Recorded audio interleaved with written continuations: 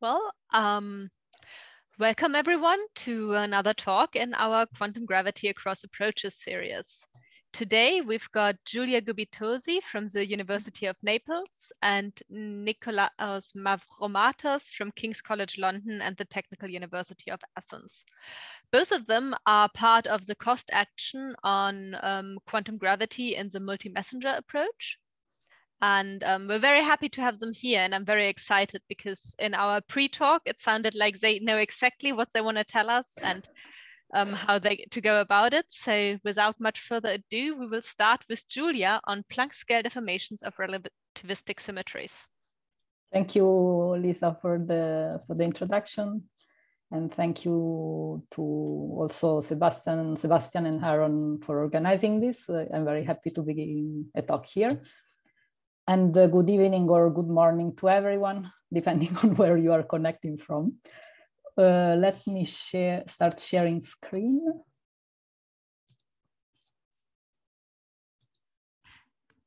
As usual, I forgot, you can ask questions in the chat or in the Slack channel. Um, just ask in chat or Slack. I will forward the question to the speakers or tell you to unmute yourself to ask it out loud. Just Okay, so um, I guess I can start, right? We are. Yes. Um, okay, so before I actually go to my talk, let me, you mentioned this uh, cost action uh, we are part of with Nick. So let me briefly um, say a couple of words about it. Uh, so this is an action, a European funded uh, action that's meant to facilitate networking between people working on different uh, fields. And in particular, this action is uh, aimed at uh, uh, doing quantum gravity phenomenology with multi-messenger astrophysics. And as you can see, we have, uh, do you see my cursor? Probably not, I don't see it.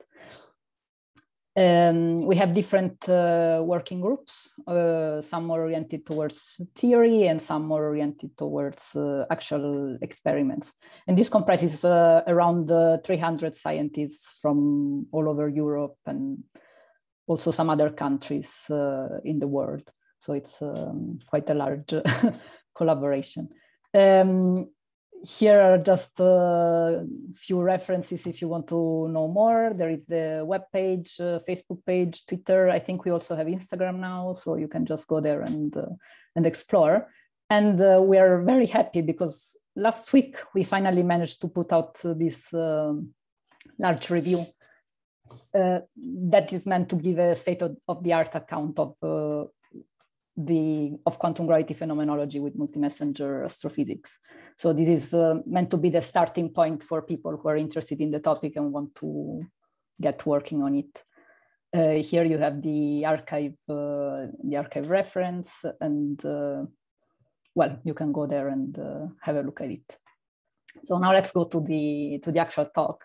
And um, so what, when uh, we do quantum gravity phenomenology, our hope is to try and understand a bit more about uh, what are the properties of the space-time at the Planck scale. That, that, that would be uh, that would be good. And uh, so uh, in the audience, we have many approaches uh, to quantum gravity. And as you well know, any of them has a different idea about how space-time should look like at the Planck scale. And um, uh, I find a ni nice way to summarize uh, this, which is this one. That is just, uh, this is uh, some artist from New York actually who has done work on uh, quantum spacetime. And this is what, uh, this is the summary the artist found to best fit what is the status at the moment. But more seriously, here there is a non-exhaustive account on how some of the approaches uh, treat uh, space-time and uh, this goes from having some kind of quantum space-time to have uh, just usual quantum field theory on a fixed space-time to having non-commutative space-time or even uh, losing locality uh, in space-time. So you really have many, many different options. And so the, the question is, how do we approach this? How can we try and test some of the properties of spacetime. And the one uh, uh, quite obvious thing actually is uh, to test what the symmetries of spacetime are. Um, this is uh, something that, uh, um, as we will see, has been investigated quite a lot. And um, in this case, things are a bit easier than just talking about generic properties of space-time because fundamentally at the moment we have three options. So one is that um, quantum gravity, th the theory of quantum gravity should preserve Lorentz invariance as we know it at our scales. So that's the easiest uh, part. Um, other models uh, predict that we should have a breakdown of Lorentz invariance. Uh, in this case, uh, you lose the relativity of inertial frames, so you have a preferred frame. And finally, the third option is that uh, you do not have the usual Lorentz invariance, that you still have a relativistic theory, but the Lorentz transformations are deformed. This is the known as deformed uh, special relativity or DSR um, uh, theories. And uh, what I'm going to point out in the first part of my talk is that, uh, uh, well, I will mostly focus on the second and the third options because the first one, uh, there's, I mean, it's trivial.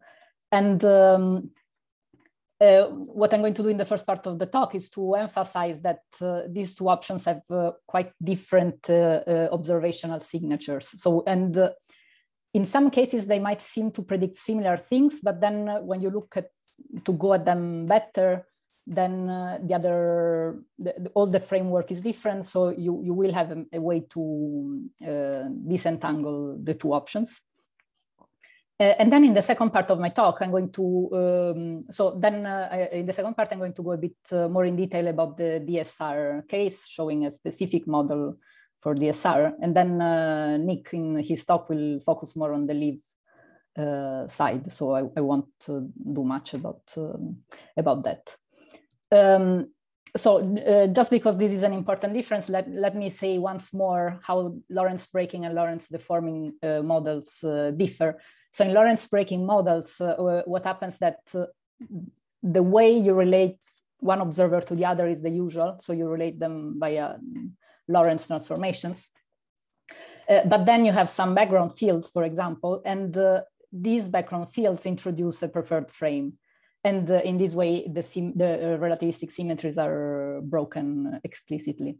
Uh, what happens with the Lorentz deformations is that you modify the Lorentz group. Usually it becomes nonlinear, as you can see here at the bottom. For some reason, I cannot show the cursor. At the bottom of the slide, you see that it would have a nonlinear action on, on the momenta, for example. And this is deformed in, in, in, such a way to allow for a, a new relativistically invariant uh, scale besides the speed of light. Uh, this scale can be thought about as the, for example, the Planck energy scale. So this theory is relativistic in the sense that all inertial observers agree on what the physics is. They all see the same kind of physics. Um, you might have apparent violations um, of Lorentz symmetries just because you might be interpreting them in the framework of standard uh, uh, special relativity while you should interpret them uh, in the framework of deformed uh, relativity. But if you do that correctly, then you wouldn't see any um, preferred frame effect. And they, here I'm just showing you, for example, you have if you have a modified dispersion relation for uh, particles, these of course would be not Lorentz invariant under the Lorentz uh, standard Lorentz transformations, but if you apply this nonlinear transformation, then all observers would agree on the form of the dispersion relation. Um, so let's go and look at, uh, I'm going to look at two case studies to better emphasize the differences between the two frameworks. Um, so the first one is uh, um, the implications in the two cases for, for example, time delays of uh, photons with different energies. Um, so let us assume, just for the sake of the argument, that we are able to state experimentally that uh, the time of arrival of uh, photons with uh, different energies that were emitted simultaneously by some faraway source, um, uh, th their travel time is different. And uh, so the realization that uh, this kind of effect generated at the Planck scale could be within the reach of experimental sensitivity dates back already to a while ago. Uh, so in particular 1998 and was put forward by this uh, very nice paper by uh, Giovanni Amelino Camelia, John Ellis, uh, Nick Mavromatos, who, who is here, uh, Nanopoulos and Sarkar. And uh, this, this idea uh, now has evolved into quite an active research field. And you can see here how many papers are coming out. This is just for um, the last uh, 10 years uh, or so. This is just a, a, small selection of them. And in particular, you can see that we are not only looking at uh, photons at the moment, but also neutrinos. So we are really going towards the, the multi-messenger analysis anyways, let, of course, at the moment, we do not have uh, a detection of uh, energy dependent time of arrival. Otherwise, you would have heard about it. Uh, but anyways, let us assume that uh, at some point we, we might have a, a detection. And uh, here, just uh, to be a bit provocative, let me put up this plot from this paper from 2017, where the time of arrival of different, uh, where, where, the time, uh, where GRBs, so gamma ray bursts were studied uh, uh from this point of view. And th there were some indication that something could be there, even with some uh, tentative uh, estimate of the parameter of, of the effect. So the formula that I'm showing here is what you would have in the flat space limit. Then of course you have to generalize it to curve space and so on. This is just, I'm just going to make an, a, a simplified version of the argument. And of course, let me emphasize that uh, coming to robustly determine that there is uh, an energy dependence in the speed of propagation of photons is not trivial at all. I mean, it's not that you just put uh, points in a plot like this. Uh, I mean, uh, this is a starting point, but then you would need to account uh, for all sorts of complications from the astrophysical point of view, observational point of view, and so on and so forth. So um, uh, and uh, yeah, and uh, actually you can also do similar kind of analysis, putting together photons and neutrinos. And this is also quite intriguing at the moment, but as I said, nothing conclusive. Um, so if we saw such a, an energy dependent um, uh, travel time for photons, uh, then uh, we, we would start making a series of deductions from that, to, from there to see what the theoretical implications are. So first of all, quite uh, immediately we would say, okay, this depends on some energy dependent uh, speed of propagation. And uh, upon some assumptions, such as that the velocity is still written in the usual way as in a Hamiltonian theory, then this can be uh, traced back to some modified uh, dispersion relation uh, for massless particles of the kind that I'm writing here um, at the bottom. And if I take this modified dispersion relation, as I said before, this can be either associated to Lorentz breaking or Lorentz deforming theories. So We, we, if we only had this observation, we would have no way to disentangle um, the two effects. But in fact, uh, if we go beyond this, then we see that uh, uh, the two scenarios are completely different. So for example, if we are in a Lorentz breaking scenario, then even if we have a modified uh, dispersion relation, then we would not expect uh, uh, to have modification in other features of uh, of the particles. For example, we, we would not expect that the laws of conservation of energy and momentum would be modified. Uh, especially if we embed the, the Lorentz breaking scenario into uh, some effective field theory uh, framework. this means if we put together the dispersion relation that is modified and the um, composition law that are not modified, this means that, for example, we have strong implication for threshold reactions. And in particular, we would uh, allow for uh, photon decay in vacuum. So this is quite a, big effect and is strongly constrained at the moment. is something that we, we do not see.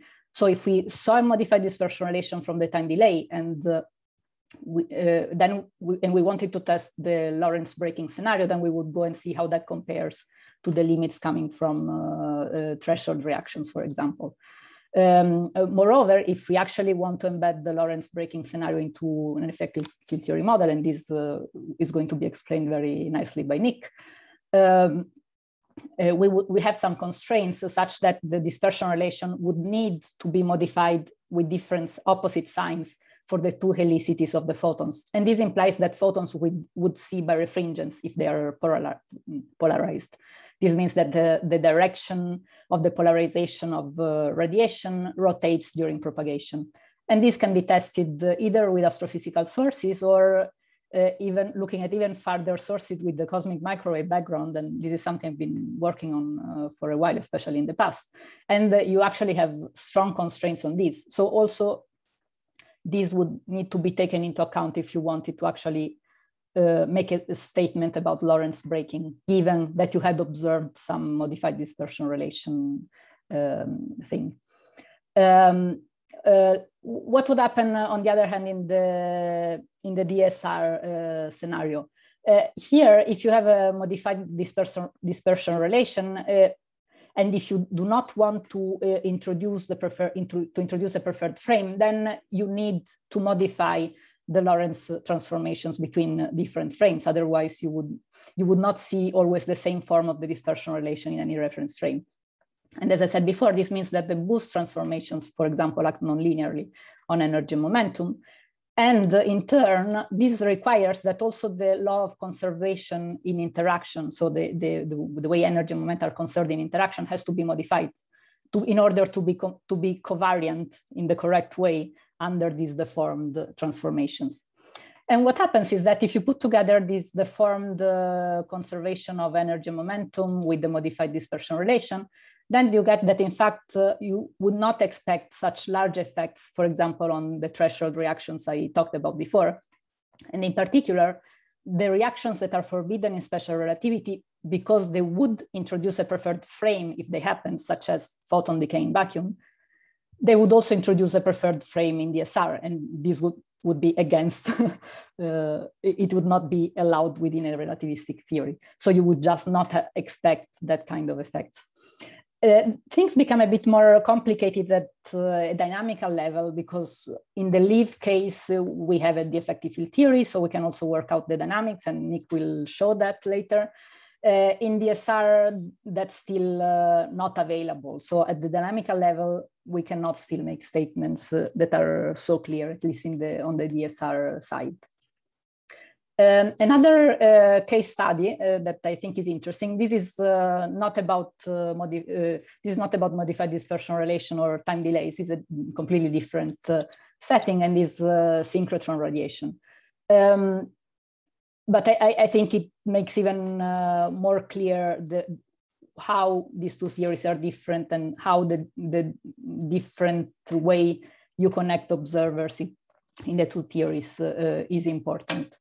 Um, so within uh, within LIV uh, models, uh, um, so let, let, we want to look at uh, synchrotron radiation for electrons in, let's say, well, this work uh, was done for electrons in uh, in LEP, but you could do it LHC or whatever. I mean.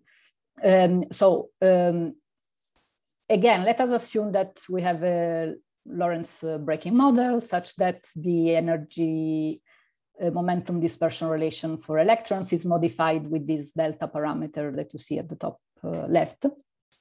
This means that uh, the gamma factor, or you can also think about the rapidity that links the rest frame of the electron to the frame of the laboratory where the electron has the observed energy, is uh, different from what you would expect in special relativity. And you see that it has uh, a correction that goes with the delta gamma square.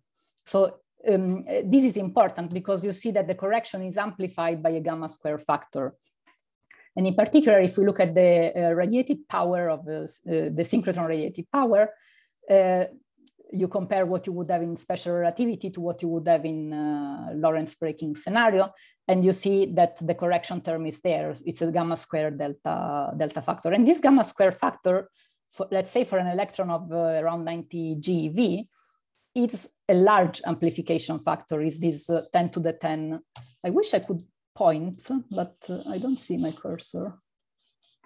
Okay, well. Um, so this uh, gamma square factor is 10 to the 10. And uh, so from the constraint on uh, that, uh, the, that you actually see the radiated power that you would expect in special relativity up to a factor 10 to the minus 4, you get a constraint on this delta parameter, so on the correction term in the modified dispersion relation that is 10 to the minus 15. So it is a very, very strong constraint that would bring you to say, okay, there is no such effect uh, there. What happens in, uh, in DSR models? it, it, happens that the bound you can put is much, much weaker. And the, why does this happen?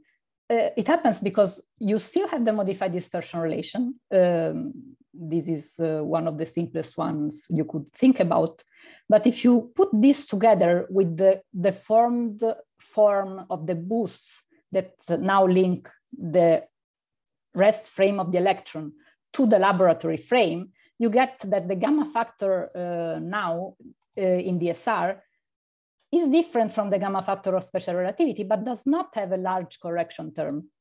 In fact, it has a correction term that uh, basically is just uh, E over uh, the mass where the effect uh, takes place. So is F is it is as if in the Liv case you only had the delta and not the amplification factor gamma. And uh, this implies that the kind of constraint that you can put is actually of the same order as the difference between, uh, uh, it is of the same order as the constraint you put on the radiated synchrotron power. So it's just 10 to the minus four. And in turn, this implies that your M star, which would be the quantum gravity scale, so the scale where the effect would become important, is, is constrained to be um, more than the PeV scale, which is not impressive at all. It's far away from, uh, from the quantum gravity scale. So I, I, think this is a very nice uh, example where, where you see how the predictions uh, and the kinds of constraint that you could, can put in the two frameworks uh, um, uh, differ. Um, so uh, now that I, I, think I made this point, let me go to give you a concrete example of DSR. I think I still have 15 minutes. is that right? 10, 15 minutes? Yes. five to 10 minutes. Okay, let's think. Okay, okay. Um, so in this concrete model that I want to consider, uh, I'm going to put myself in a specific uh, limit of quantum gravity, which is uh, a limit uh, that is uh, where h bar and g are going to zero, but their ratio is constant. This means uh, that we do have a, an energy scale, but not a length scale. So we are going from quantum gravity towards special relativity along the red arrow that uh, I draw in this, uh, in this cube. And uh, if we are in this limit, then it is, uh, because we have an energy scale, it is natural to look at our theories from the point of view of momentum space. And uh, also uh, this energy scale allows us, gives us the scale that we need to deform the Poincare algebra. So it gives us the scale that we need to build the DSR model. And let me just briefly mention that uh, mm, these kind of deformations that uh, I'm talking about, um, I'm going to talk about them as a, a realized in quantum groups or, or Hopf algebra um, uh, in, uh, framework, which is a very nice framework because makes sure that, uh, that, that you're doing everything consistently. It's not the only way to do DSR. And let me also mention briefly that uh, so it is hard to go from the full uh, fundamental quantum gravity theories to regimes that are closer to where we can do experiments or phenomenology. But we have some indications that, for example, if we couple matter to 2 plus 1 quantum gravity, then matter would, would see deformed Poincare symmetries. And we also have some indications that if we go to some Minkowski regime of loop quantum gravity and look at the hypersurface deformation algebra, then it is deformed in a way that would point towards the formation of the Poincare group. These are just indications at the moment uh, because making this link is hard. It would be great uh, to do more on this. But anyways, they are, they are interesting. So let us go to the concrete model I want to talk about uh, briefly, which is known as the kappa Poincare Hopf algebra. As you see, it involves a nonlinear modification of the commutators of the algebra. Here, everything is in one plus one. We have the Casimir, which is where we read the modified dispersion relation from that is nonlinear and has this uh, complicated form. And then uh, we also have a nonlinear action on products of functions. From this structure, then we can infer the properties of the momentum space of the theory. So from the coproduct, we infer a deformed composition rule for, n, for the momenta. As I said, from the Casimir, we infer a modified dispersion relation that actually to the first order is of the kind I showed you before in my example. And uh, uh, for example, from this, uh, if I take the full order dispersion relation, uh, I find that, for example, for massless particles, this is how it looks like. And uh, you see that we have a maximum allowed spatial momentum while the energy can go all the way up. And this maximum momentum exists in a rel relativistically compatible way, exactly because the uh, transformations between observers are, are deformed. And moreover, from uh, these uh, uh properties of the momentum space, it turns out that in fact, the momentum space is not flat as it is in standard theory, but it is curved. And in particular, it covers half of a de Sitter manifold. So we can, um, all these uh, non-trivial properties such as the form composition rules and the form uh, modified dispersion relation, we can see them as effects of the curvature on, on momentum space.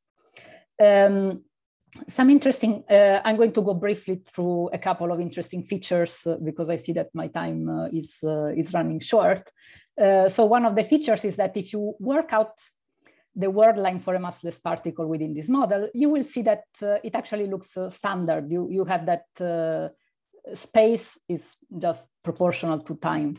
However, the way translations act on coordinates is non-trivial. And this is uh, such that if you compare what an observer at emission sees to what the observer at detection sees, and you properly do the, the translation between the two observers. So here I am plotting uh, uh, the world in these two plots, uh, you see the world line in blue of a low energy photon and in red of a high energy photon. From the point of view of Alice, who is the observer at mission, the two photons travel with the same velocity. So Alice would say, okay, they, they, they, will, they will not see any time delay. However, if you then translate to the observer Bob that is at the detector, then what happens is that Bob will say, okay, I expect that the low energy photon will arrive at, with the high energy photon will arrive with some time difference with respect to the low energy photon. And then you can deduce the, the, the expected time delay that here it is written in this uh, cumbersome form, but it is just the kind of time delay that I was discussing at the very beginning of my talk. Um, a very final thing, because I mentioned the interactions. So in DSR, as I said, interactions are still at the very beginning. I mean, studies on interactions are still at the very beginning. We're still trying to understand them. Uh, let me just say that it is important to understand how they work because, for example, if we want to construct uh, space-time from the properties of the momentum space uh, that we have, uh, then we need to build a network of observers. And to do so, we need to build a network of interacting uh, particles. And, um, and, and in particular, what we see uh, here, I'm just showing that, uh, for example, uh, while in special relativity this works uh, nicely, all observers are linked either by, by combinations of translations and boosts. If I want to do the same in DSR, uh, which is the, the bottom part of the slide, what I find is that, for example, uh, I have an issue if I want first to, to link to observer, either first translating and then boosting or vice versa, first boosting and then translating because the, the translation parameter that, that will link the two observer becomes momentum dependent. And then the question arises of what momentum I'm talking about. So whose momentum is this momentum that appears in the, in the transformation parameters? Uh, and uh, okay, here I will just go very briefly. Uh, to, to start understanding this, then we start to understand how interactions are covariant under this uh, deformed uh, group of symmetries. If I look at a very simple interaction where the conservation rules are, are, the following, then I, of course, this is not covariant under standard boost. But what happens is that I need to boost the different particles with the rapidity that depends on the momentum of the other particles. So in order to keep the covariance of the, of the vertex. And this is uh, a very counterintuitive uh, fact, but uh, uh it, it makes things uh, consistent and uh, it can be traced back to the fact that I briefly mentioned that boosts have a non-trivial coproduct. So they have a non, non, they, they act in a non-trivial way on products of functions, or in this case on uh, systems of composite particles. Um, this, the, this is the very final point. This causes issues if I want to look at uh, interconnected interactions, such as uh, the ones that I show in this uh, diagram. Uh, because, for example, if I if I consider separately the vertex one and the vertex two, then I know that uh, in order for them to be covariant, for example, the rapidity of particle k needs to depend on the, so if I look at vertex one, the rapidity of particle k needs to depend on the momentum of particle q that, that is in that vertex. But then if I look at the second vertex, I know that the rapidity of particle S will need to depend on the rapidity of particle R, but also on the rapid, uh, sorry, on the momentum of particle R, but also on the momentum of particle Q. So in order to have covariance of this network of interactions, I need to know what are the momenta of all the particles involved that are causally connected to each other. And this, of course, causes a lot of conceptual uh, well, these are just the formulas that say that say what I just said in words. Uh, this causes a lot of problems because if I look at one single vertex and I want to understand how that is covariant, then I would need to know what is the history of that of the particles that belong to that vertex and uh, this of course causes, causes I mean brings up problems about uh, what happens to causality and can, can it, does this can this be made into a meaningful uh, model or, or shall I really know the history of the whole universe if I want to just study one interaction vertex? Uh, this was just to give you an idea of the kind of complexities that can emerge in this, uh, in this framework. I leave up uh, um, the conclusions. Uh, I, I, won't uh, go through them in, in detail and maybe I, I leave the stage to, to Nick if there are no urgent questions, I guess.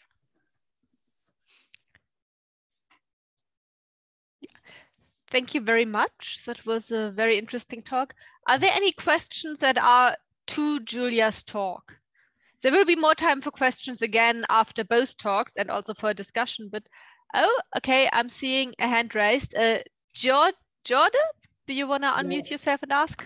Yes, yes. Hi, Giulia. It was a very nice talk. Hi, hi, George. Just a, a quick question about sure. this uh, uh, going beyond effective field theory. So do you have something very concrete to say about that? Do you mean like the the coupling is violated, that you have some um, well, going beyond the effective field theory, I mean, as you saw, if I want to do DSR, I, am already going beyond locality, for example. So you would need to non-local, so, uh, non-local, would, but uh, causal. Uh, for example, and this uh, thing about interactions, uh, might point towards the need to also look at, at some deformation of co the concept of causality somehow. So, I mean, I'm not saying that it is a, it's not a theorem. It's not that we cannot do it, but it would not be an easy effective field theory, let's say. well, I, I, don't think it is effective field theory, but okay, yeah. I just wanted to uh, pick your brains about what you meant. Thanks. Okay. Yeah. Just thank you. Thank you for the question. No problem. Okay. If there are no further questions, then um, let's move over to Nick, who will tell us about yes. anomalies, anomalies and torsion in quantum gravity and Lorentz violation in the universe. Can you see my full screen? Yes. Very good. Uh, so first of all, I would like to thank uh, Lisa, the two Sebastians, and Aaron for this very nice initiative they have and the honor they, they make to me by inviting me to this uh, very interesting uh, back-to-back -back talk with Giulia. Uh, what I'm going to talk about is, as Giulia announced, uh, an explicit example and concrete calculation on a Lorentz violation in the universe within an effective field theory, where I will argue that it is torsion and actually it's condensate uh, computed in a weak quantum gravity theory with Chern-Simons anomalies that could actually lead to a concrete prediction of one of the coefficients of the standard model and Lorentz violation, because there are many. Uh, however, I will also make a, a, a, a conduct uh, with uh, my earlier work. So the, the outline uh, is, uh, I mean, this is not the logo of the quantum gravity across approaches. This is uh, what I have done by trying to show what this uh, initiative brings. Uh, for instance, these are indicates quantum fluctuations of the apple, which is classical gravity, but there are cracks in this construction of the classical gravity itself, which could come from uh, reconsidering our uh, uh, view of uh, what quantum gravity could be. Now, these are the big questions from the side of the quantum gravity across approaches. And in this particular talk, I will try to concentrate on two of them, topology and its role in, in the early universe and, and perhaps the Big Bang. So let me start by uh, reviewing briefly what uh, Giulia has talked about. Uh, Giulia has talked about uh, Lorentz uh, symmetry. She didn't talk about Lorentz symmetry violation, but she talked about deformations which can be accommodated in quantum gravity. Quantum gravity can accommodate both or none of them. Uh, and uh, our phenomenological approach, as uh, Giulia said, is also considered in this recent work. Here is what uh, Giulia concentrated mostly. This is an animated thing of the time delays, the higher energy photons uh, represented by the, the wavelength, by red wavelength, arrive later. Of course, this was supposed to be superimposed uh, to each other. If quantum gravity is subluminal, they could be by the birefringence effects. If they are superluminal, in some versions of uh, this phenomenon in non-critical strings theory, it's always subluminal and there is no birefringence. However, in this phenomenon, there are also very interesting effects which are due to gravitational wave propagation. If gravitational waves propagate in a space-time foam, then their propagation will be affected. Here, I was deliberately choosing not to cover the entire space because uh, motivated by some mod concrete models of uh, string foam in which the string theory foam is represented by space-time defects in brane walls, you may have uh, inhomogeneous uh, uh, fluctuations, but never mind about that. This is what Giulia has talked about briefly. And of course, in this can happen in both Lorentz symmetry violation and deformation, but Giulia explained the differences.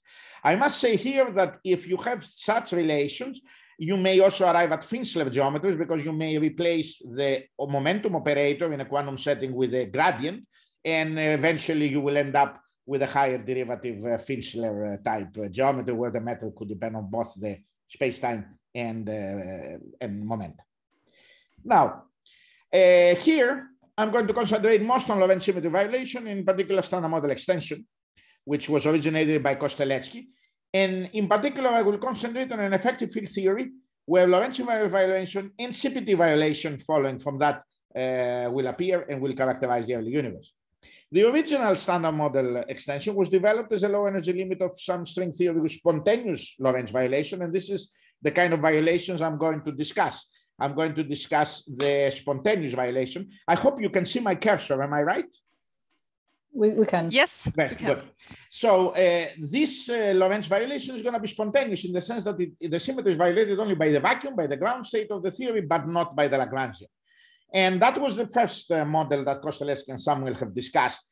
Uh, but of course, uh, it was discussed in the limit of string theory, but many string theories were not considering Lorentz violation in the landscape. They always assumed as a constant, but it can be violated. In the talk, I will present another string-inspired derivation of a symbol Uh, standard model extension theory, which would come from some semi-microscopic string-inspired gravitational theories, which contain both chiral anomalies and torsion. The anomalies are important, and they are consistent with general covariances I will discuss. The spontaneous violation of Lorentz symmetry will arise, as I will argue, in the early universe from some condensation of the anomaly term, of the Chern-Simons term that will be triggered by the presence of primordial gravitational waves. Why gravitational waves? Because the gravitational waves violate CP symmetry and the Chern-Simons uh, term is sensitive to CP violations and that's why it's non-zero. Chern-Simons theory in the Robertson-Walker universe is zero. There is no anomaly in our background of Robertson-Walker. You need CP violating perturbations in gravity, and these are quantum gravity perturbation, weak quantum gravity, of course, about the sheet of space-time that I'm gonna consider. So I'm talking about quantum theory and how in this particular case, you get Lorentz violation. An important point is split by torsion, which, as I will argue, is equivalent to a, an axion field. So we are in dangerous anomalous territory, and you should view the torsion torsionful quantum gravity as an ultraviolet completion of uh, some quantum gravity model, in particular embedded in string theory. This is some of the works of mine, but I will concentrate on a very recent review, which I produced immediately after the the, I mean, I was working before on our review on, uh, of the COST Action. And uh, uh, this review also gives more details for people who are interested in. So what is, first of all, the standard model extension? It's an effective local Lorentz invariant and or CPT violating effective field theory framework, which uh, involves uh, terms, higher dimension operators, which are suppressed by powers of some energy scale, which is associated with these violations. Uh, the scale is supposed to be larger than, of course, any detected scale at colliders at present or in astrophysics. And uh, these operators have this generic form. Uh, omega, the CMU nu could be background, could be condensates, and these are the operators of the standard model. So you start from an operator of the standard model, you give a background, and then you construct all the higher derivative operators like this. What I mean by standard model is that uh, these operators should be gauge invariant, Lorentz invariant in general. After contraction with the background tensor, they should not be reducible to lower dimension operators by the equations of motion. Should not be reducible to a total derivative, of course, because you assume that uh, terms in total derivative vanish and should couple to any reducible background tensor. So that's what the standard model extension is. In fact, it's a framework, it's not a model. You write down whatever operator you can uh, think of. And of course, each one, because it violates Lorentz symmetry, Uh, makes a prediction, which of course you can test. And so far, nothing has been found. You don't know the scale of these operators, and you need to embed this in a microscopic model in order to understand the scale. And we will see in this example one such situation. Uh, the standard model extension pertains to all sectors, fermion sectors, gauge sectors, Higgs sector. I'm going to concentrate on this sector, and in particular on this axial term of the fermion sector. This is the simplest, which comes from torsion, as we shall see. Torsion, as we shall discuss, can lead to interactions, four fermion interactions. And uh, if you do a random phase approximation, uh, in other words, if you assume that some of them condense and then you expand, uh, you can end up with this operator where, where this Lorentz violation comes because of the condensate, because this term uh, has an index, a Lorentz index, and in a Lorentz invariant theory should be zero. But it could come also from a gravitational anomaly. I will say what phi is. And in this particular case, phi in fact corresponds to an axion which corresponds to torsion, which couples to the anomaly. And, and uh, this uh, produces this sort of terms. These are the sort of terms that I will discuss in a microscopic theory. And then I will use them surprisingly to uh, in the early universe and then scale them down with temperature today. And you will see that today they are negligible, but not in the early universe. But at least within this example, which I'm not saying is a physical theory, but it could be I mean, it could be an interesting theory. This shows you, this example shows you how you can calculate these coefficients. And of course, it's only one. But in this particular one, is only one. This particular model, only one arises, this one. So as I will argue, uh, this coefficient is associated with something which is called string-inspired torsion. And I will argue the following, that first of all, you have gravitational wave condensations in the early universe, lead to an anomaly, gravitational anomaly, Chern-Simons gravity condensation. And then there is, uh, if you like, an, an background, which is induced by torsion, which remains constant, and that is a spontaneous violation of Lorentz symmetry. This axion background is actually uh, this background uh, b dot. This would be a constant in time, in the Robertson-Walker time. Now, of course, this route is painful because you have first to construct microscopic gravity models with strong CPT violation in the early universe, but with today, you have to fit with all the available data. And in this way, you can estimate the matter and the matter asymmetry in the universe and today's uh, values. So the motivation for this work, apart from trying to get a microscopic uh, uh, embedding, if you like, of the standard model extension of Kostelecky into some microscopic theory, comes because in today's cosmology, despite all these important discoveries, including the gravitational waves in 2015, we still don't know what is the nature of dark energy, what's the nature of dark matter, and we haven't seen primordial gravitational waves, and also we don't understand inflation in a microscopic way. For instance, is it due to inflatons, or, I mean, this, this inflationary era, uh, many models are excluded, but the dynamical model by Starobinsky and other dynamical models of inflation where the inflaton field is dynamically included in the version is, uh, is not excluded. So that's one question. There is some tension in data today uh, in the galaxy growth data and in the present era, which surprisingly could be explained, could be linked to quantum gravity, and you will see how.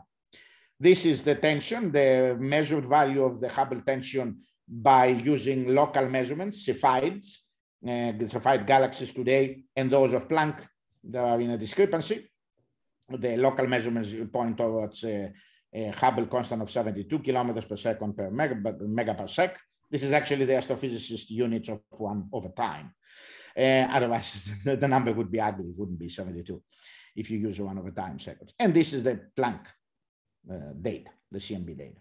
And then the growth of tension. There are also there is also, uh, if you notice, uh, discrepancies between the Planck data and uh, the lambda Uh, CDM uh, deformations, okay? Now, what does this have to do? Uh, also, there is one more open system which I will discuss today, and this is the microscopic matter and the matter asymmetry in the universe. Why we see this number? Why we see one antiproton in billions of protons, in the, the nine protons? Huh? Why this is the baryon asymmetry densities and baryon anti, anti-baryon. So why we see this number? Uh, Sakharov pointed out uh, conditions, C charge violation, charge conjugation violation, CP violation in the early universe, and departure from thermodynamic equilibrium. But CP violation in the quark sector of the standard model is still smaller by 20 orders of magnitude, 10 orders of magnitude less to explain the observed number. So you need new physics, you need new sources of CP violation. Sakharov assumes CPT in the early universe. Several ideas assuming CPT goes, you assume grand unified models, supersymmetry, extra dimensions. The simplest is you assume massive neutrinos as a source of extra CP violation. And this is called leptogenesis, which eventually then you, you have CP violating decays in the right-handed neutrino into standard model particles and antiparticles. CP violation makes, despite the fact that the neutrino is the same as its own antiparticle because it's Majorana, the product is different because the decay rates are different because of the CP violation. And then you communicate this to baryon number via appropriate B minus L, baryon minus lepton number process, conserving processes. In this talk, I will change this. I will change the geometry, and this is where Lorentz violation comes in. And I will claim that if you have an early Lorentz violation symmetry, an early universe Lorentz violating symmetry and CPT symmetry, i.e. through some gravitational defects, which is a torsion, I consider it as a defect, then you could get uh, the CP violation, you could get this sort of leptogenesis without actually much fine tuning, uh, but you get CP and CPT together, and the CP comes from torsion. So torsion matters. This you can be interpreted either that torsion does matter or these are matters of torsion.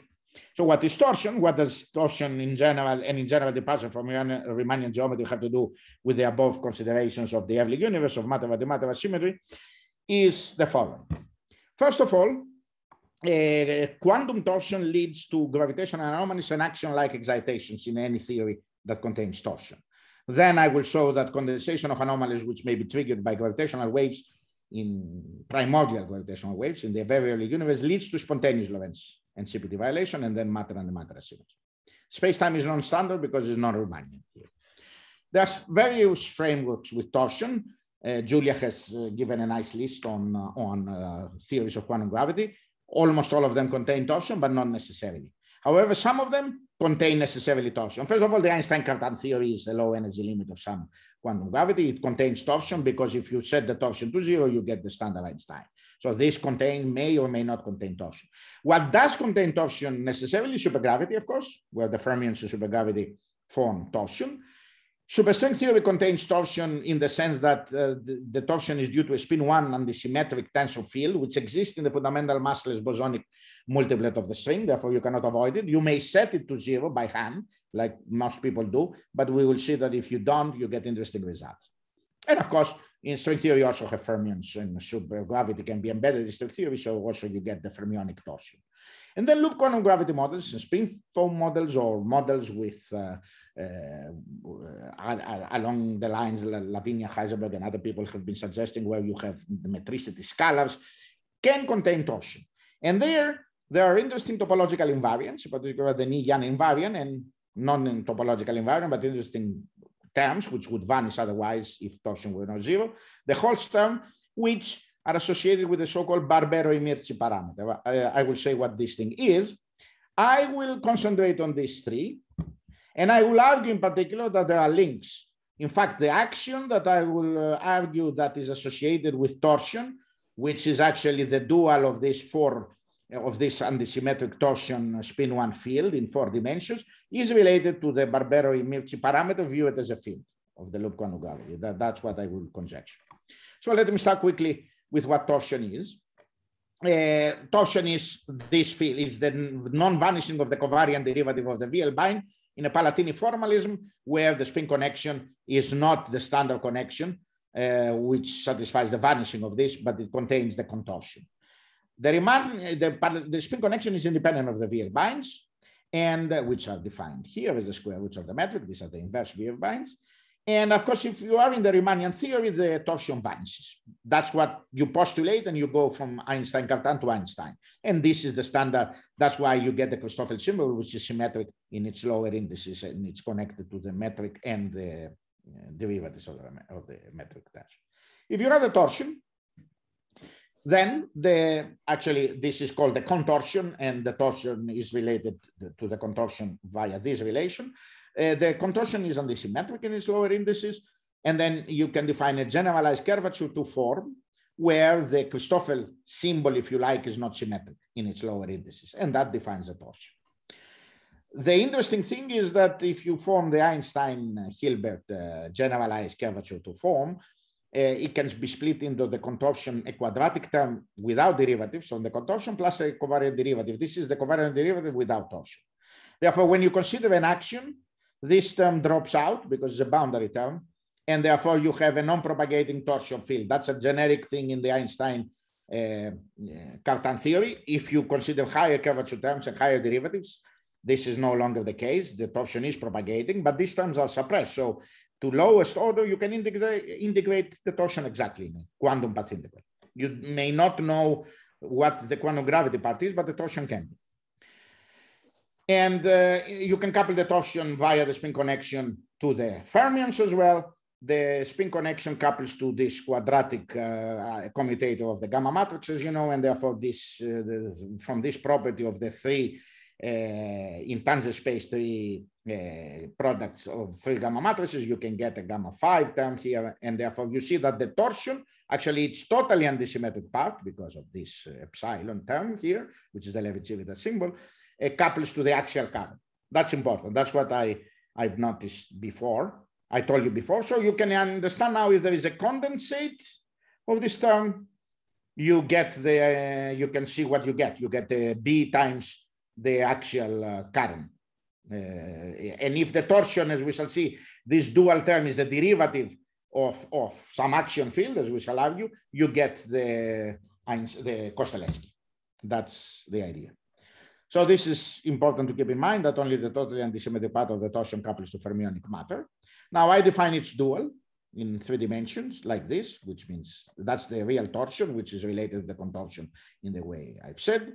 And of course, and of course, taking into account this coupling, you can easily show in form language that you get this dual couples to the axial current in this way. So that's a vector. Then you get this like a mass term of this S mu S mu. And uh, then you can split this totally antisymmetric part of the torsion, which is the S, plus the rest of the torsion. The rest of the torsion is also non-propagating. In string theory, you don't have this. This is zero because you only have totally antisymmetric torsion coming, as we shall see from the spin one field. Then the fermion couples to the axial current. If you replace, of course, this torsion on this, you get the four fermion axial current uh, repulsive interactions, which is characteristic of any quantum torsion. Uh, if you use the equations of motion, on the other hand, you see that classically this is conserved. So the torsion is conserved because of this Bianchi identity. But as you know very well, when you have an axial current, because the conservation of the axial current is only classical here, you use the classical equations of motion. But in quantum physics, there are anomalies, chiral anomalies. This is the gauge sector, which could be non-abelian, and the gravitational sector. And of course, this coefficient depends on how many, this is one, uh, one chiral fermion in the loop for clarity here, but you could have all the, whatever the uh, chiral number of degrees of freedom multiplies this anomaly. And these are the dual, the, the, the twiddle here is the dual tensor. This implies that the d star s is proportional to the anomaly is non-zero. So the quantum torsion is no longer conserved by loops, by one loop actually. The anomaly is an exact at one loop. What you can do is you can implement the conservation by fiat by adding appropriate uh, renormalization group counter terms so as you remove order by order in quantum gravity these anomaly terms. And then this means that you implement in your path integral of the torsion the constraint of the conservation of the charge ds, which is the classical, uh, this is the classical uh, conservation. Eh? So you implement this Bianchi identity in the path integral here I ignore the path integral over gravity. I only concentrate on the dual term and also the path integral of the rest of the non-symmetric torsion, which can be integrated exactly in the path integral because it's non-propagating. And you see, you already see that when I integrate out DS and I implement this constraint as a path integral with this Lagrange multiplier field as a delta functional, you get this. So you get, uh, after you integrate out the K hat and the S, and you normalize the kinetic term so as to the, the Lagrange multiplier so as to have a kinetic term uh, canonical kinetic term, you see that you observe four fermion repulsive interactions, characteristic of any torsion, but coupling of an axion like to chiral anomaly. And this is the important point. This is one property of generic of torsion. You always have this axial current current repulsive interactions, and is already noted in the context of string theory 92. And you also get a torsion induced axion. So the torsion, the quantum torsion, the totally antisymmetric part of it is equivalent to an axion field. There are other parts in general. So that's what is the I wanted to keep that a torsion, if you have quantum torsion, is equivalent to an axion like dynamical field theoretic degree of freedom coupled to chiral anomalies plus repulsive into parentheses for from interaction because in more general theories you may get also attractive parts. Now let me continue by actually quoting Heisenberg here where he says the part and the whole, that there is a fundamental error in separating the parts from the whole, the mistake of atomizing what should not be atomized. And you will see why I'm saying this. Unity and complementarity constitute reality. Because what are the parts that I'm going to consider below and what is the whole? The first part is the stringy gravitational action. What's happening in string theory now? I tell you that torsion is associated with an axion, but how we have this axion in string theory, which is one theory of quantum gravity. In a massless gravitational multiplet of closed strings, you have spin scalar dilatons, spin two traceless tensors, and, uh, and uh, spin one antisymmetric rank tensor, which is the Kalb-Ramond field. This is known to have a symmetry. I don't have time to explain. It comes from the vertex operators of closed string, which means that because of this U1 symmetry, the B mu doesn't appear in the effective action, but uh, only uh, alone, but it appears through its field strength. This indicates higher curvature, higher derivative types of this field. Let's concentrate at the moment on this because these are all suppressed by um, gravitational scale or string scale. The field, there is an important point in string theory, that of uh, stringy anomaly cancellation in the bulk dimension between gauge and gravitational anomalies. And that requires the modification of this field strength. It's no, no longer the curl, but is this. These are the Chern-Simons terms. These are gauge fields, and this is spin connection. Once you you observe, first of all, from what we discussed before, that this term, because it's totally antisymmetric, can play the role of a contortion. You see, remember what I told you, the contortion never actually gets any derivatives if you integrate it out. And that's what you get here. And this is the generalized connection is not symmetric. Here I uh, set self-consistently, actually, you can show that the dilaton to a constant so as not to bother us, but the dilaton doesn't affect things when you quantize distortion in the same way as uh, was done generically, this is dual to, to an axion field. Why? You have the Bianchi identity. This is the covariant derivative without torsion, which comes by considering d star of this. This is zero, and this d star of that gives me the anomaly terms. You implement this Bianchi with a Lagrange multiplier. And now, remember, before I only had this vanishing the covariant derivative of the totally antisymmetric torsion was vanishing. That was the S, D star S. Here I have also this because of the anomaly. So here, although I'm in a bosonic uh, case, I'm going to get this anomaly term. That's the Lagrange multiplier. That's the delta function I'm implementing order by order by adding appropriate Green-Schwarz counter terms here. And after you implement it as a Lagrange multiplier, as a beta, as a delta function, as a field, you get this.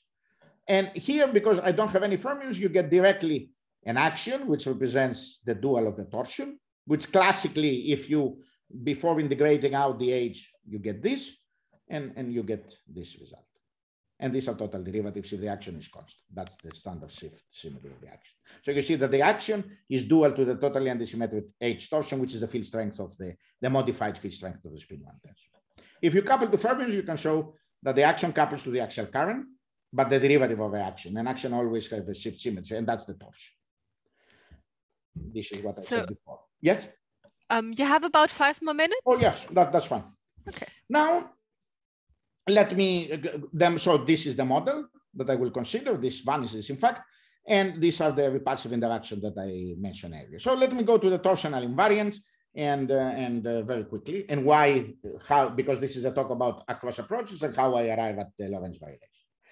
First of all, you know that if torsion is present, the Holst action can be non-trivial. You have the coefficient here, which is connected to, the, in the Ashtekar formalism, this is purely imaginary, is, is connected to the standard SO31 connection, or in the Barbero formalism, if the beta is real and is connected to its double cover, there's two connection. If you uh, do the analysis, which I don't have the time now, if you put this term in the presence of torsion, and that was considered by Freidel, Minic, and Takeuchi first, and then Perez and Rovelli, uh, you get this arbitrary coefficient, which before we didn't, because before we had we were in the limit of beta going to infinity. However, as noticed by Mercuri, if beta is constant and is not a field, this is not consistent because you when you do the analysis, you arrive at the fact that the vector is, actually is proportional to an axial current. Uh, so this something should should be happening. This is what Mercuri did to cure the problem. He considered non-minimal coupling to fermions with this parameter, and then you say that the problem is cured if alpha equals beta. And uh, this, the important point of Mercuri was that he considered the topological invariance. He said the Holst action alone is not an invariant. So that's the density uh, that he considered. And then he considers a restricted torsion to find it. However, you notice that this inconsistent, if you make beta pseudoscalar, i.e. the constant, the vev of a field, then you cure the problem.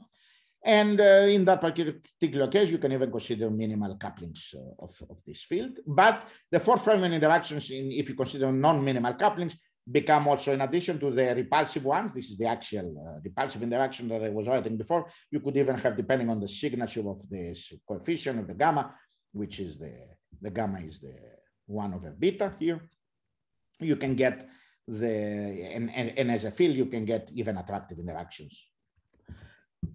Now in string theory, you notice that this Nieh-Yan invariant is nothing other but that our uh, string tension. That's exactly what it is. However, in, in the string theory, we also have the torsion Chern-Simons term, as I argued before, because of the anomaly. Now, let me, in the last three minutes, if I can take, uh, how this can lead to Lorentz violation very quickly. So the anomalies, first of all, I will go quick. Unlike the gauge field, which is topological and does not contribute to the stress tensor, the anomalies does contribute to the Cotton tensor to the stress tensor, and in fact leads to positive, uh, non-positive contribution.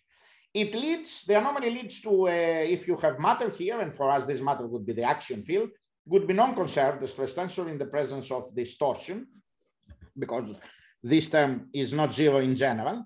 And in order to have conservation, you have to restrict the backgrounds. However, you can always define an improved tensor and everything is fine. And this is still consistent with energy uh, with diffeomorphism invariance because you simply means that you have an exchange of energy between matter and gravity. Now, spontaneous Lorentz violation. What do I do? If I have non-trivial gravitational waves, I can have a condensate of this term, which could contribute to cosmological constant-like terms. How? Like this. Uh, you consider gravitational wave perturbations. You integrate over momenta up to a given cutoff. So this is a quantum gravity calculation. And uh, if you assume that this b dot, which is the time derivative, if you assume that the axion field, the torsion is only homogeneous and isotropic, and you can justify this, you get this equation, which because of this isotropy equation of anomaly, you get this. And at the end, you have this solution. You may assume inflation and then you get it. Naturally, if the age is constant, you can see that you can always arrange this exponent to be a constant upon this restriction. So you get a spontaneous Lorentz violating solution because of the condensate of the temporal component of the anomaly. All right. That's why B dot. And then at the torsion is constant. This is actually the important point for my talk. So in this case, you consider a spontaneous Lorentz violating solution, uh, which you can parameterize with the Planck data you can get inflation because you can show that the energy density of the inflation uh, has this form. You can get, despite the fact that the age depends mildly on time, you can get inflation. You can drive inflation. That's the, that I will skip. It's the RVM-like term. It is CP violation because you have the anomalous terms. The anomalous terms also contribute negative terms here, but it is CP violation. And the important point of this torsion is, and if I may have one minute, can I? Sure. Yes? Go, keep Good. going. Yeah, yeah. Thanks. Uh, why is important for matter and the matter asymmetry? Now, why? Because I showed you how anomaly condensation of, from torsion uh, generated the condensates. At the end of inflation, I can generate chiral matter. Chiral matter creates their own anomalies who cancel these anomalies except these chiral anomalies, which can generate a potential for this axion and can play a role of dark matter. That's not important. What is important is that the equation of motion, once you, at the exit of inflation, once you generate chiral anomalies, uh, you can see how this scales until today. And this is the important point, which I was saying earlier. This has that form of uh, CPT violation because it couples to the axial current. And if you calculate in a detailed way, taking into account temperature, dependence of the chiral anomalies, cosmic electromagnetic fields, the value of this field, this is B dot. This is the axion, uh, the, the constant one, almost. It's not quite constant uh, at the exit of inflation, but today gets this value. And you see the values, the limits that you have in the standard model extension. Even if you consider boost from the Earth's velocity, you get, you get this value. So leptogenesis is very easy because once you have this form at the exit of inflation and you have right-handed neutrinos in the presence of this background, which is slowly moving during the short period of leptogenesis, you can get the CPT violation. And the CPT violation means that the tree-level decay of the neutrinos are already proportional to be zero. They are not zero, unlike the standard CPT invariant that you need to go to loops. So this is the value. So you see that's the lepton asymmetry, and then you communicate it to the standard baryogenesis by the standard methods. So to conclude, as I said, I started from an anomalous gravitational theory, which arises in the low energy limit of string theory. This is the whole. And we have shown that the torsion plays an important role in inducing an axion, uh, is a generic fixture of torsional theories, and actually leads to spontaneous Lorentz invariant and CPT violation, which could also play a role in, in a consistent cosmology, which I leave you uh, here. And uh, that's uh, the end of, of my talk, if you like. I mean, I can go on forever and tell you phenomenology, but because we exist of anomaly, because this constant background is associated with leptogenesis, if you have right-handed neutrinos, I am paraphrasing Carl Sagan here, and I say that we are anomalously made of star stuff. So that's my poetic end of the talk. and apologize if I if I exceeded my time by. Uh, thank you. That was um, quite a lot. I'm already seeing the first hand up, but it's George again. Um, so I'm just gonna. Do other Sorry. people have questions? Otherwise, yeah, I have, yeah. yeah, I have, I have to leave. So, so just a quick comment. Uh, uh, thanks, uh, Nikos, for this very nice talk. And the comment is actually maybe also relevant for Giulia. So um, uh, the B mu nu field, right? You presented the, a, a nice summary of uh, what is known and how it's related to axion, and etc. But um, there is sort of a, a, new twist that was realized by um, Laurent, myself, and, and Rob Leigh. Um, that essentially, if you try to implement relative locality in string theory, mm-hmm. then actually the B mu nu field uh, can be absorbed into sort of a, um, a symplectic structure that usually does not appear in the ah, text. And you get the dilaton then from? Well, okay. So the dilaton has to do with the volume of, with the, the right. of the, of the, of the, if, if you want, the phase space. But this guy has to do essentially with the symplectic structure, which tells you that the left and right modes um, do ah. not commute. Okay. Uh, is that the, so, can you and, send and, me the, the paper? This is okay. Like... I'll send you the reference, but it's also interesting for Giulia because it's a model. Okay. I'm yes, not, of I'm course. not sure if it if it fits into everything you want to do phenomenologically, both of you, but it's a it's an implementation relative locality because you can actually uh, uh, rotate from the left and right, or if you want uh, space time, also... space time. Very good. Yeah. It might and also play a role in chiral anomalies that I was talking about. Maybe, maybe. I, you know, I don't know how phenomenologically sure. relevant it is, uh, but it, uh, uh also for Giulia, it would be covariant. Um, yeah, that's what I was going to ask. How, how can this be? Uh, it, it, is. it is interesting if you can make it. Uh, yeah. So, so the, the the point is that you see uh, in that case because there is a fundamental scale. Okay, essentially the size of the string. Uh, and you can also make it covariant, so fundamental time, fundamental scale. You see the different observers okay, would see different space times. Mm. So you see, that's why it's consistent with Lorentz. But, but how are they linked to the different observers? They are linked through a, a, new geometric structure, which is quantum. It, it contains symplectic structure. That's where the B mu comes, okay? The double structure. So it's like you have a space-time and a dual space-time, kind of like a phase space. And that and is independent of, of string theory, you say, in the model. Well, okay, so I, I would say string theory presents a model for this and but and there is also a conformal structure so sure. they call this Born geometry okay because okay. Born uh, curved space time mm-hmm. you know curved phase space uh, momentum space oh yes i remember your talk now i remember that you gave it okay anyway I, I, don't know how that relates to your phenomenology but and I will look to it. And now, if you send me the email, the precise, although I, I, can find it on the web. I remember your talk. Thanks very much, George. I, I will. I will. Okay, I have to go. And thank you so much, both of you. Thank, thank you. you. Thank you, everyone. Bye bye. Thank you. So I'm seeing another hand up. Um, Thomas Love, if you want to ask your question. Yes, hello. Can you hear me? Sure. Yes. Uh, Giulia, Nick, lovely talks. Thanks for thank, thank you very much. Thank you. Um, I have a question uh, regarding Giulia's talk. Uh, when you said that you calculated uh, the influence of DSR on uh, synchrotron radiation.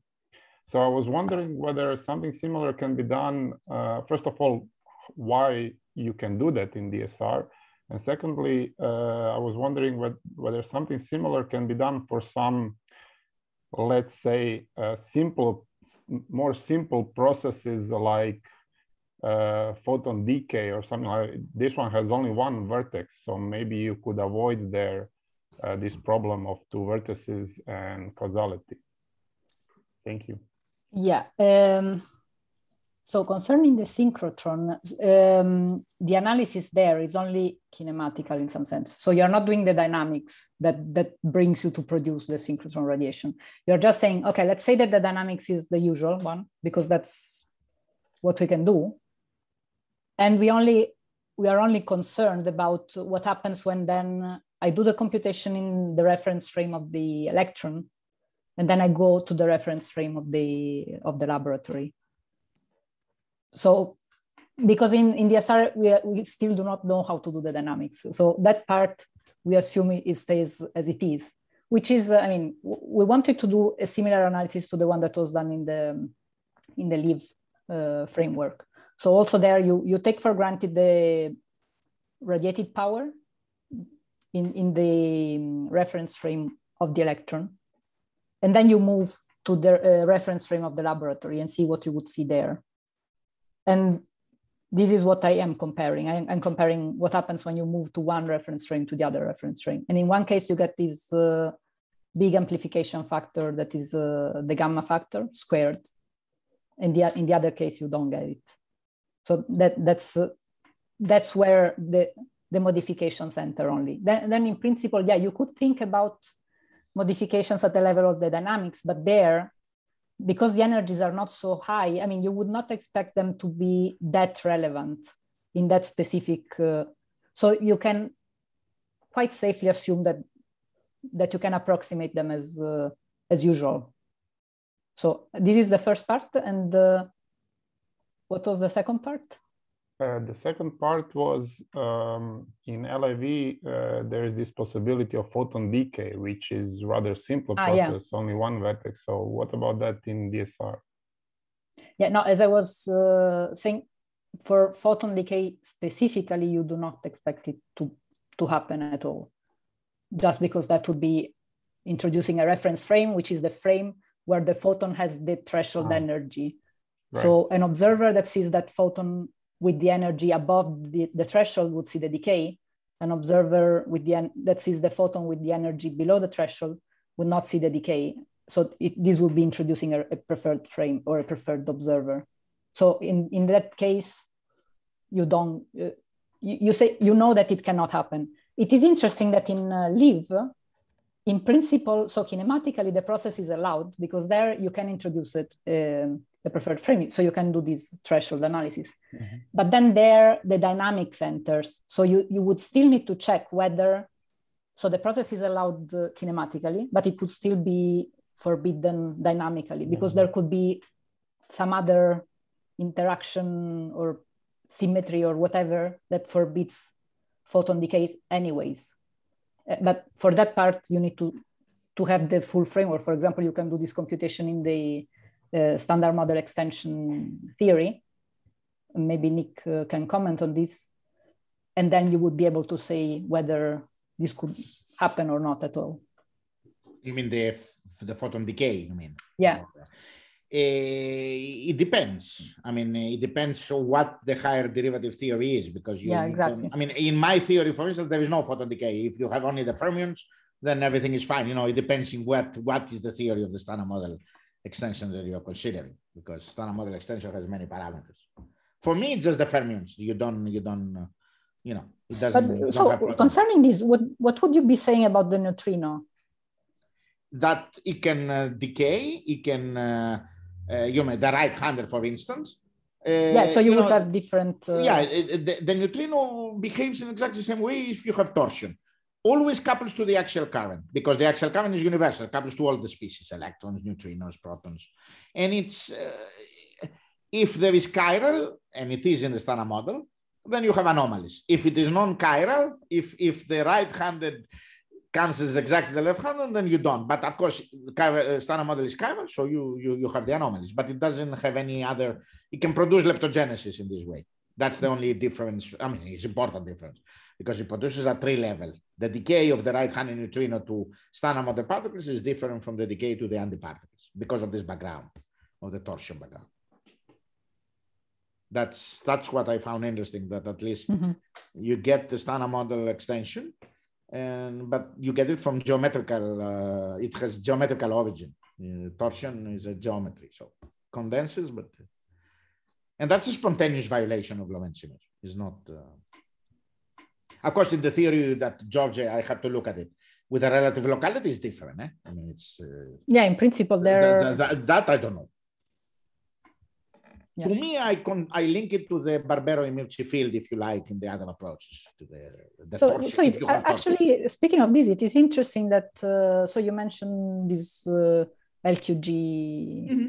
uh, framework, and uh, it is interesting because uh, the way you look at it, uh, it would seem that you're actually introducing a preferred uh, a background there right? If you have the if you have the condensate. You may not have a condensate. Yeah that's the point because uh, on the other hand we have these results you don't have to have a condensate uh, of gravitational waves in LQG you might have in, at least yeah. in some limits uh, a deformed yeah, yeah. so the uh, theory is spontaneous. it really depends on yeah. it really depends on, on the regime or what you put into it somehow. What conditions?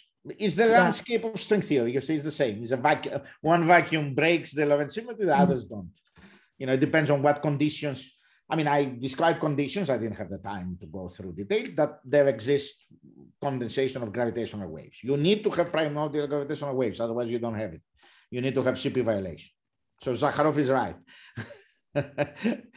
I mean, you see, Sakharov postulated that you need the CP violation. This theory also mm-hmm. makes a different use of it.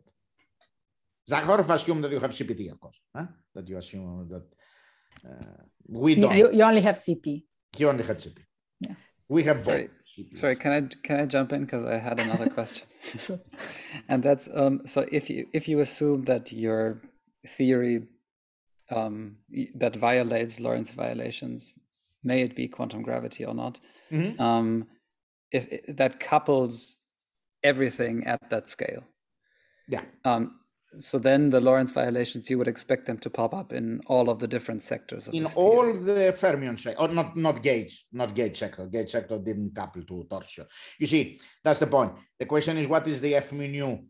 The F mu nu, how do you define it in the theory of torsion? Instant theory is defined with the ordinary derivative, covariant derivative. So the spin connection drops out of the field strength. Uh, so the gauge sector, of this theory couples only to fermions, and it's universal. It couples, so you can see it in electrons, but you see the numbers 10 to the minus, uh, 44 milli electron volts. You, the, the, the, do you see what I mean? You will never detect it in, in an atomic physics experiment. Still, my question would be: in in which of the sectors would you would you then expect experimentally to first see fermions? Fermions. Fermions. fermions. fermions. The same thing with electric dipole moments. You know, they will show up in electric dipole moments. In is the fermion part is is uh, Can I share again quickly my? Yes, please go ahead. Just to show the, to answer Aaron. Sorry.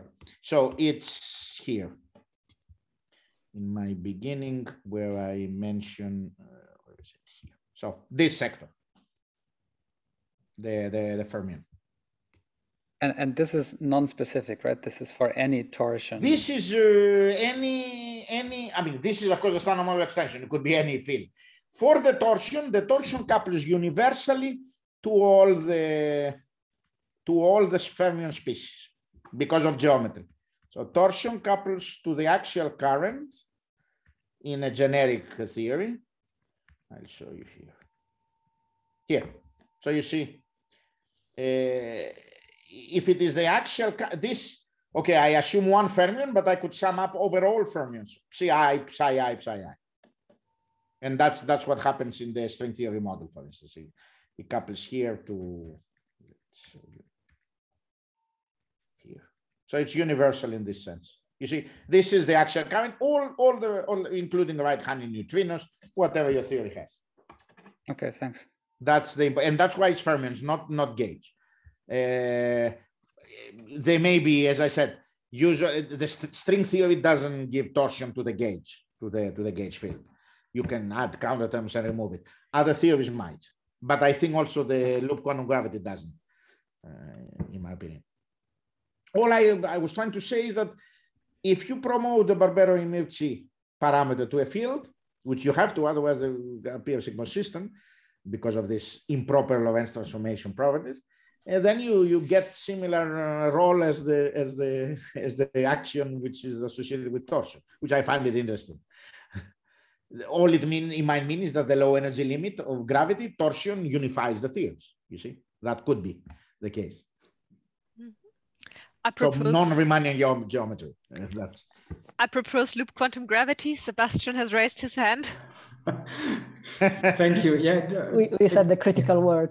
Uh, it's it's an intriguing question. It's an intriguing question. Like, um, I mean, but what you describe is like, um, you know, promoting the Barbero-Immirzi parameter to a field is typically not what one does in LQG. Um, when of course. you just look at pure gravity and then you quantize in one way or another. And uh, just what I wanted to, to mention is that at least in spin foam models, it seems to be, or, you know, um, I think we are starting, we're, we're starting to understand that we probably will be summing over non-metric, non-metricity. That's right. That's well. a different uh, approach, as I said. You may define the non-metricity scalar, which means the covariant derivative, instead of the dual, I, I define the dual tensor. So the S mu was the dual to the to the torsion tension. Mm. Okay, then that arises necessarily in string theory. In string theory, I cannot avoid this axion. It's there because of this constraint. In your uh, loop quantum gravity, you may define uh, the f(Q) gravity, for instance, the, the Q, the, the non-metricity scalar, which stems is a particular combination of the covariant derivative of the G mu field. Mm -hmm. That scalar is another degree of freedom, but that depends on the metric me, the action depends only on torsion, only on topology. That's the difference. Mm-hmm. Yeah, so, I mean, of course, we have like many steps to do because, of course, um, my question to you to as experts quantum gravity is: What happens if you put torsion? That's the question. Yeah, that's what I'm what I'm trying to say is like that we might that we might just automatically get torsion. We have to understand it better, but we might get torsion to some extent. And there has been recently a work by Bianca Dittrich where she like looked at uh, you know, basically uh, looking at some effective spin foam model perturbed around some uh-huh. background. That would be interesting. There you are getting, you know, um, something which looks like gravitons, but also massive degrees of freedom. So actually quite massive degrees of freedom. If it is, ma- to me, there is one massive degree of freedom, the SMSM. You see, this dual term is quadratic. You see, if I can share again, can I share again? Sorry. How much time do we have to? Because I can talk forever. Time, I think I can talk forever, but uh, it's Friday afternoon, so it's a discussion session. I think people just slip away whenever they've had enough. Before okay, everyone slips away, let me just do the quick announcement that there will be more talks in the season. Um, the next talk will be on effective field theories and the swampland. Um, for that, we have invited Scott Melville and Irene Valenzuela. And um, we haven't fixed the date yet, but it will likely be in January and not in December, just because we don't want to compress everything before Christmas. So um, after this announcement, please, Nick, go ahead, explain. Okay. Explain torsion so, to us. Thank you. You will send again the announcement, I suppose, through the Slack of channel course. on the Tauction. Very good. Very there good. will be plenty of announcements and reminders. Very just... good. Thank you. So if I may share about this question on the massive mode, you see, here is the point. There is a massive mode here, all right, in the uh, SS. That's the dual. That's like a mass. And of course, always because of this constraint in the if you if you make it as a torsion, you always have this, and that's how this corresponds to a quantum torsion to, to, to the axion. Now, if you do that in the loop quantum gravity, with the Barbero Immirzi parameter as a as a non uh, not as a field, you get this. You see, that was what uh, Simone Mercuri did. You add the Holst. That's what uh, actually Freidel, uh, George, and Takeuchi did, and then Perez and Rovelli.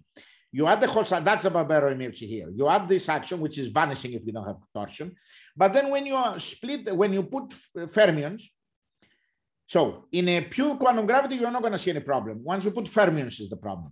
Once you put fermions, you will see that when you analyze the torsion into each uh, vector, that's the T, that's the torsion is TR mu mu. So you contract the two indices of the torsion.